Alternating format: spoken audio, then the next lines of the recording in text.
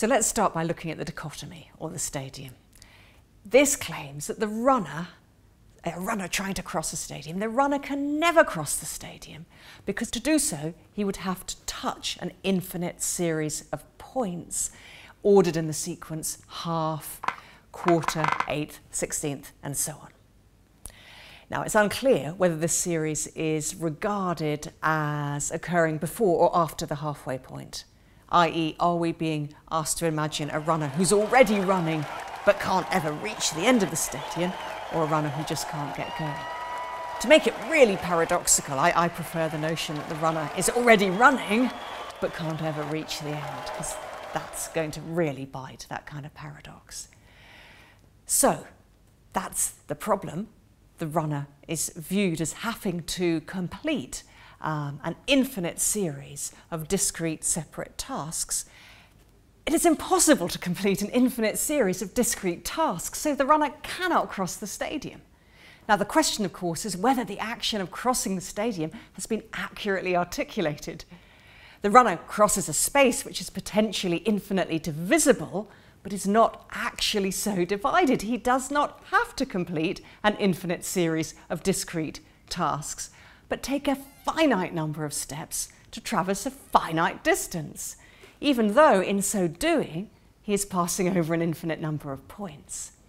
So there's this crucial distinction between uh, divisibility and divided. The space is infinitely divisible, but not infinitely divided in actuality. A finite number of steps is going to get the runner to the other end of the stadium. And indeed, Aristotle, when he writes about this uh, paradox in the physics, he makes exactly this point. He says the key here is to make the distinction between infinitely divisible and infinitely divided. The dichotomy, therefore, might at one level seem solvable, but it still, I think, raises some really interesting questions.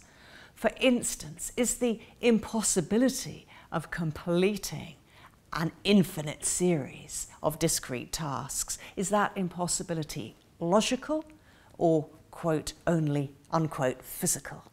So there are still things, I think, that we can discuss and debate about this paradox.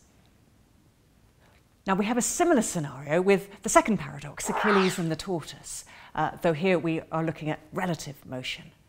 So this paradox states that the fastest runner in the world, Achilles, cannot overtake the very slow tortoise if the tortoise has a head start. Because, the paradox says, by the time Achilles has reached the tortoise's original starting point, the tortoise will have moved on a tiny bit to a new point. And by the time Achilles has reached the second point, the tortoise will have moved on a fraction again, and so on ad infinitum. And so once again, we're given this sort of notion that Achilles has to complete uh, an infinite series of discrete, separate tasks in order to overtake the tortoise, and that just can't be done. But once more, though it is perfectly possible to view the distance that Achilles has to travel as infinitely divisible, it is not actually so divided Achilles doesn't actually have to complete an infinite series of discrete, separate tasks to overtake the tortoise. He has to complete a finite number of steps. So again, we have this notion that time and space can be infinitely divisible, but that doesn't mean they have to be uh, infinitely divided in practice. One can just take a finite number of steps to reach one's goal.